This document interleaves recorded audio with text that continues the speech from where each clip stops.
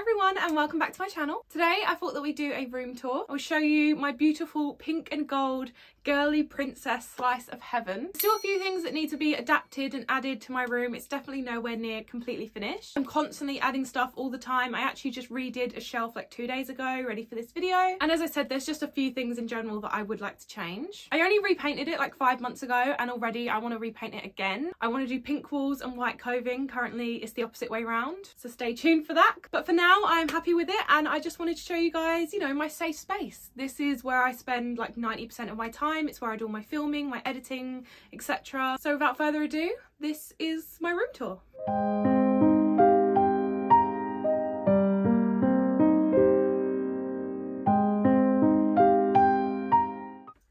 Welcome to my room.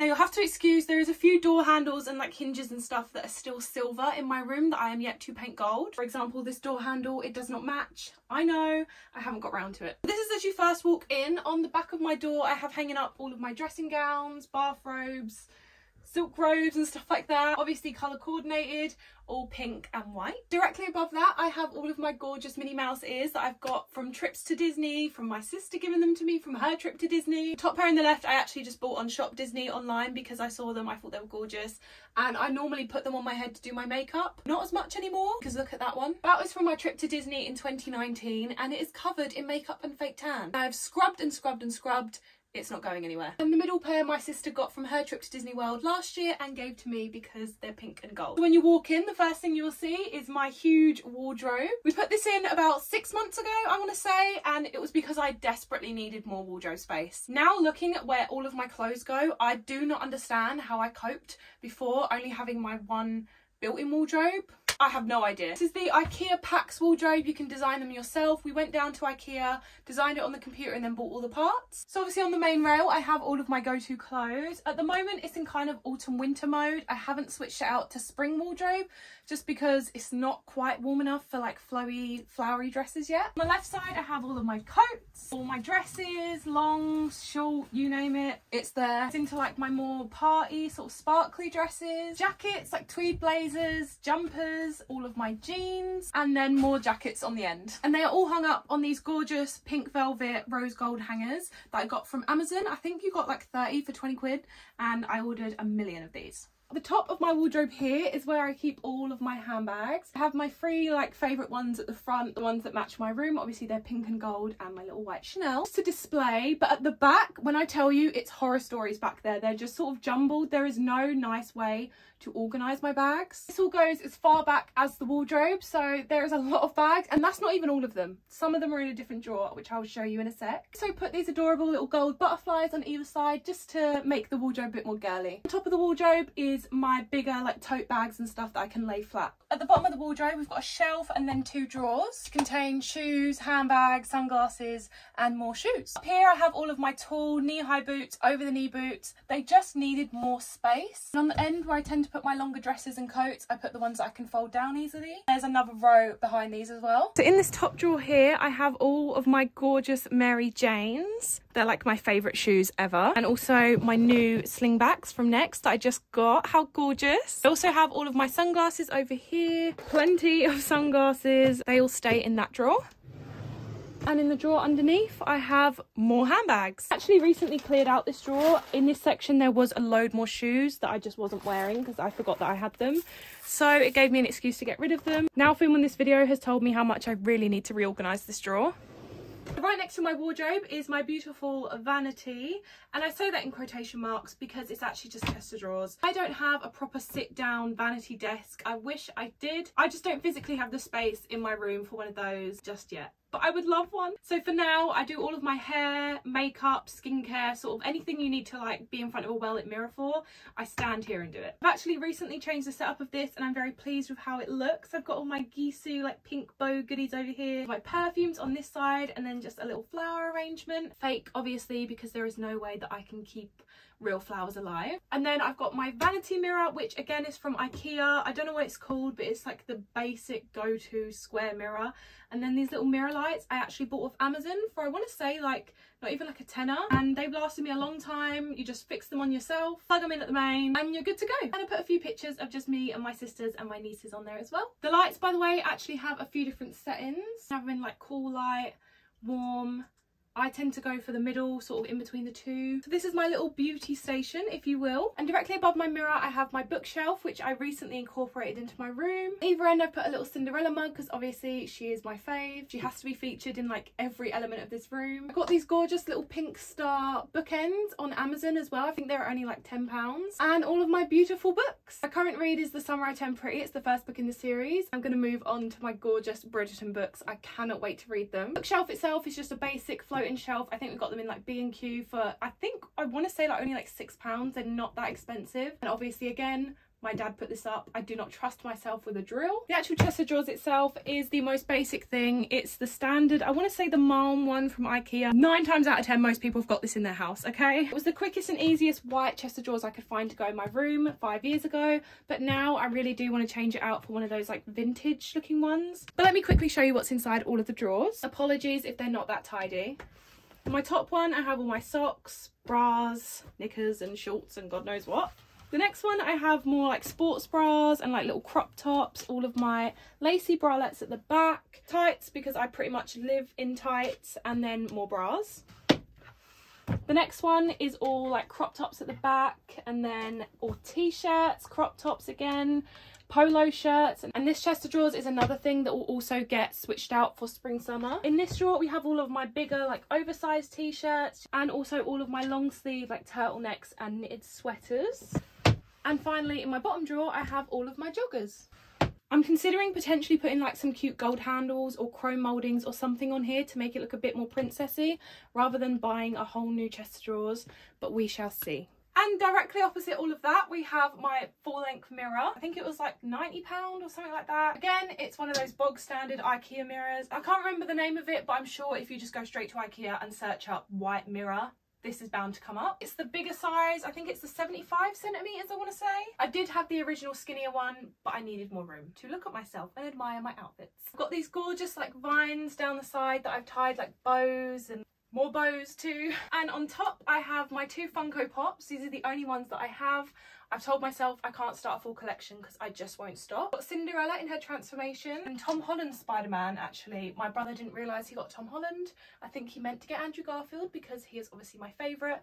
But regardless, got a little Spider-Man and a little picture from my sixth birthday party which was a Glitter Girls party. Also I can easily detach the mirror from the wall and hook it off and move it around if I need to which is great. Down just below my mirror is one of my favourite things about my room, my shoe rack which again is another thing that needs to be painted gold. I just haven't got around to it yet. So imagine it's gold. Here is where I display all of my most beautiful, like presentable shoes, mainly pink. A lot of these are ones that brands have sent me. Some of them, I'll be honest, don't even fit. Like these are uncomfortable. They don't fit my toes. These don't fit me either, but because they're so pretty and they have this little place, I don't mind keeping them there. For display purposes, people spend so much money on ornaments these are my ornaments. Next up is my makeup slash hair like cabinet. I always call them my Alex drawers. They're not technically the Alex ones from Ikea. I can't remember the name of these ones specifically, but again, if you just type up like makeup storage unit, I'm sure it will come up. More or less all of my furniture matches. On top of here, I have my cotton pads, cotton buds, makeup remover, all of my daily essentials, you know, body lotion, deodorant, all that kind of stuff. And a cute little box that I actually made myself from a shoe box because I have a plug socket back here and it was looking ugly. So I covered it up with a little box. Of course, my beautiful Dyson hairdryer is on display on its little holder with a little pink bow. Would you expect anything less? And I also put my little headband through the hole because I didn't get all the attachments with my hairdryer. I just got the smoothing one. So it left a little hole which was very convenient for my get ready headband. Above that I also have this beautiful Disney key that I want to say I bought from the Disney store my closest one before it closed down, which was a very sad time. Just look how pretty. And above that, some butterflies, which lead up to decorate a certain shelf that I will show you in a second. These gold butterflies pretty much feature everywhere in my room. I tried putting them on my bookshelf and on the edges of my TV, but for some reason, I don't know why, they would constantly fall off. But they stick to the walls doesn't make any sense. Let me quickly show you what's in these drawers. So in the first one, we have some makeup. I have all like my powder blushes and bronzers over on this side. And then all my cream products like bronzers, cream blush, concealer and everything on this side. I actually recently redid this storage as well and got these little white containers. And at the back, I have some lady products because I always need some of them. The next drawer is more makeup because you can't have enough. I have all my mascaras and brow products in this one. All of, again, just my translucent powders and highlighters in this one. And then back there, I have some eyeshadow palettes and like contour palettes as well. Now moving on to the bigger drawers. This next one is all of my skincare. So we've got all of my beautiful pink skincare lined up at the front. Body oils, moisturisers, lash serums, everything, you name it, it's all in here. Even all my hair syrups as well, beautifully lined up. Then there's more creams and ointments and God knows what at the back. The next one is my hair drawer. So I've got all my brushes, tangle teasers, combs and everything at the front. Then in this little basket is all of my scrunchies, hair bows, clips, you name it, it's in there. There is a million and one bows in there. Also got my favourite dry shampoo in here as well. Hair bands, claw clips, bobby pins and just more clips and stuff at the back. In the next one down from that is more makeup, which you may be thinking should go with the rest of the makeup in the top drawer where the skincare is. I've been thinking this for the longest time. I just can't be bothered to do it. But for now, I've got all my brushes down here, sticks, lip glosses, everything in there, more eyeshadow palettes, blush and like bronzer palettes at the back, all my lip liners here and all my sprays, foundations and everything else like that. And in the last drawer is most of my hair care tools. And I say most because there's still more under my bed. So I've got my straighteners, curlers, waver, duet style, everything's in there along with all my hairsprays and heat protects and stuff like that that is all of the drawers. We'll do this section briefly because it's the most unaesthetic part of my room. It's where I keep all the leftover bits and bobs that have no genuine space. I've got my Airwrap down here, my jewellery box, pencil case, my bin with these gorgeous pink bin liners that I found on Amazon. My sewing machine is just down there and then this box full of all of my pyjamas. I'm not going to go through the drawers in this cabinet just because they're an absolute mess and I need to sort them out and there's really nothing that exciting in them. But on top of this little cabinet is Three Little Friends. We've got obviously the OG, my Cinderella toy that I've had, I want to say since I was, I guess maybe five or six, I want to say she is battered she's bruised she's all torn apart but i think that's the part of like loving her you know so i'm reluctant to fix her and clean her up because i feel like that just shows how much she's loved. Behind her, I also have my Draco Malfoy Slytherin teddy bear from Build-A-Bear that my friend got me for my 21st. And next to her, I've got another one from one of my other friends. We went both for our 21st and sort of bought each other's Build-A-Bear. Mine is obviously Hannah Montana themed, as you can see, but she does have some gorgeous little glass slippers on. My TV. So unbelievably ugly, I can't even begin to explain. But someone did mention that I should get some gold vinyl to go around the edges, so hold out for that. Nothing that exciting, just my TV. But above my TV, however, is one of my favourite shelves in my room. It's my Cinderella themed shelf.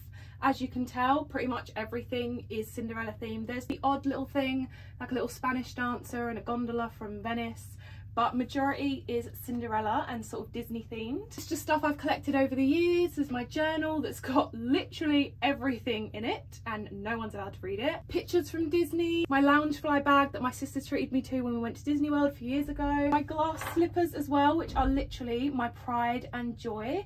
I got them again when we went to Disney World in 2019, but my dad got them in the size that I would have been when we went the first time when I was four. Oh, it made me cry. And look, they light up. This is truly my favourite part of my room, I, I, I'd have to say. Moving swiftly along to my bed, this is where all the magic happens. And by magic, I mean editing and watching films and eating chocolate. Because that's about all that happens in my room, if I'm being honest. This is where it all happens. I have a single bed, sadly, don't get me wrong, would love a double or even a small double, but it just won't fit in my room. So she's a single bed girly, she's a very tall girly, so my feet do kind of hang off the edge if I'm being honest. But because I've done it for so long now, it's actually almost like a comfort to have my feet hanging off the edge of my bed. You get me? All my cushions, obviously all pink and floral themed. And my bedding as well is from Dunelm. I got it recently. I think it's absolutely gorgeous. I've also put a pink fluffy blanket over my headboard because it's just a plain grey because the theme of my room last year was grey and white and when I changed it to pink and white obviously last summer I had to change everything about it. So I repainted the walls got new curtains etc and I felt like the headboard just didn't stand out in a nice way. So I got a nice pink fluffy blanket a little life hack. Just tuck it around the edge and it completely transformed the bed. And my beautiful curtains of course. For the life of me I can't remember where I got these from. They were just a random boutique online and I found them amongst a million others. Searching for the perfect pair of like pink and gold curtains. And these are definitely it. They've got the little gold stars. They're like silky. The back lining i think is like a satin finish which looks really really lovely. I didn't want blackout curtains because i don't like sleeping in a completely pitch black room. Luckily this is actually gold it's one of the few things in here that's actually gold i put on these little hooks as well these little gold ones they were originally white and i spray painted them gold and of course i had to add a little pink bow to make it coquette. I think the hook as well makes it more princessy. Let's move swiftly along to the last aesthetic shelf in my room. I recently redid this one. Until about a week ago it was a Harry Potter themed shelf which if you watched any other room tours that I've done on my TikTok or you just, you're an OG and you know, you're gonna miss the Harry Potter shelf.